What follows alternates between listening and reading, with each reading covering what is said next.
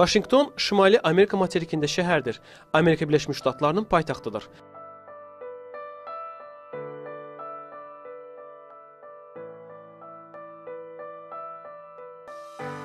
Paytaxt salınması üçün Potomac çayı sahilini o vaxt ölkənin ilk prezidenti olan George Washington seçib və şəhərin əsası da 1790-cı ildə qoyulub. 1800-cü ildən etibarən isə Vaşinqton rəsmən Birləşmiş Ştatların paytaxtı elan olunub.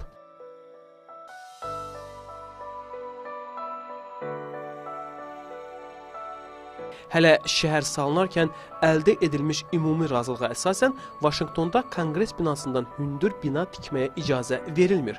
Bu qadağanın məqsədi ölkədə Konqresin və qanunların hər şeydən uca olduğunu göstərməkdir. Göstərməkdən başqa həm də buna əməl olunur.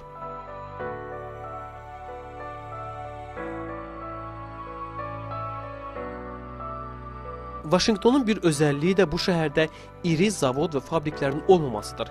Hələ şəhər salınarkən burada əhalinin sıx yerləşməsinin qarşısını almaq məqsədi ilə qərara alınıb ki, paytaxtda sənaye sahələrinin inkişafı məhdudlaşdırılsın və Vaşinqton yalnız siyasi, inzibati və mədəni şəhər kimi formalaşdırılsın. Burada prezidentlərin iqamətgahı olan Ağ ev 1800-cü ildə tikilib. Həmin bu Ağ evin sahəsi isə 5100 kvadrat metrdir. Vaşinqton abidəsi. Bu abidə Ağ evlə Kapitoli binası arasında 1848-ci ildən 1885-ci ilə qədər tikilib.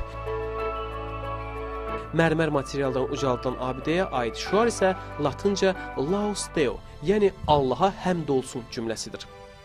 Vaşinqtonda ölkənin tarixinə çox hörmətlə yanaşırlar. Bəzi şəhərlərdə şairlər, yazıçıların abidələri çox olduğu halda burada belə deyil. Müstəqillik, torpaq, azadlıq uğrunda canını fəda edənlərə abidələr ucaldırlar. Məsələn, Vyetnam müharibəsində vuruşmuş hərbiçilərə aid abidə. Abidənin üzərində hər bir hərbiçinin adı həkk olunub.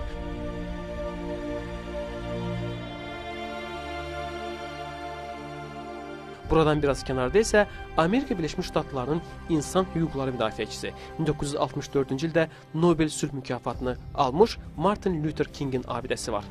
Daha bir tarixi şəxsiyyət, bir vaxtlar prezident olmuş Franklin Delano Roosevelt. Onun üçün burada ərazi də ayrılıb.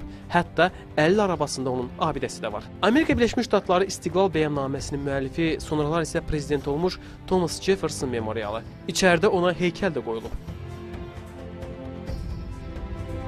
Abraham Lincoln-u da unutmaq olmaz. Axı onun da Amerika dövlətinin tarixində rolu böyükdür. Çünki vətəndaş müharibəsinin sona çatması və Amerikanın birləşdirilməsi onun adı ilə bağlıdır. Smithsonian İnstitutu Amerika Birləşmiş Ştatlarının Milli Muzeyi, dünyanın isə ən böyük muzeyi və tədqiqat mərkəzlərindən biridir. Eksponatlar isə olduqca maraqlıdır. O dərəcədə maraqlıdır ki, muzeyi gəzdikcə vaxtın necə gəlib keçdiyindən xəbərin belə olmur. Əsasən də ölkənin kosmik və təyyarə sənayesinin nümunələri burada nümayiş olunur.